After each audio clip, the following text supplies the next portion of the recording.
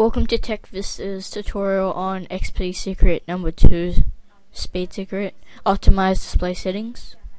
Windows XP can look smart, cool, but displaying all the visual items can be a waste of system resources and makes your computer 10 time um, 10% slower. So what we do is to optimize that is click start button.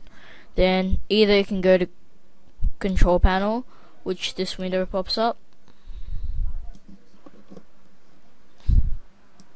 this window pops up right here.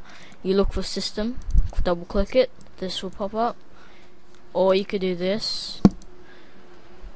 Start my computer press properties which is I which I always do then click advanced. Then you click settings for performance right here. Then this window will pop up. It'll be like this when you when you look at it Instead, you just do best for performance and the ones you want. If you click, if you, I use this, I clicked on this one, this one.